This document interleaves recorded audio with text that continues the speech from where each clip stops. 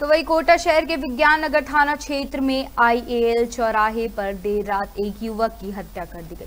Police ने हत्या का मामला दर्ज कर जाँच शुरू कर दी है। थाना अधिकारी सतीश चौधरी ने बताया कि देर रात आईएएल चौराहे पर युवक के मिलने की खबर थी, ज़िले, जिसे अस्पताल लेकर पहुँचा गया।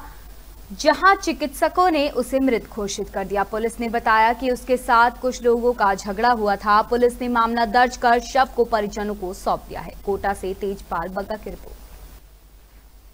ये एक हत्या का मामला थाने में दर्ज हुआ है, जिसमें एक लड़का है तीस साल का, भगवान सनोर श्री ओम प्रकाश। ये दोवड़ा के रहने वाले हैं इकतीस साल। तो दो तीन दो तीन लड़कों ने मारपीट की है और उसके कारण इसकी डेथ हुई है। ऐसा परिजनों का।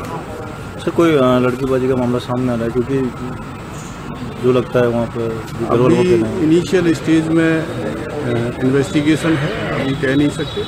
फर्दर इन्वेस्टिगेशन चलेगी तो आपको अपडेट देते रहेंगे। सर सीसीटीवी में भी मामला दर्ज हुआ है।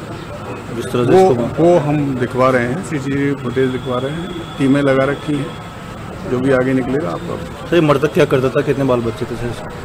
ये स्विगी में काम करते थे जैसे जैसे प्राइमरी इंक्वायरी हमने की है उसके अनुसार।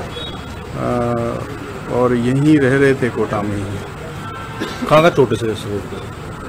बेसिकली सिर में चोट है बाकी पोस्टमार्टम हो रहा है उससे और क्लियर हो रहा है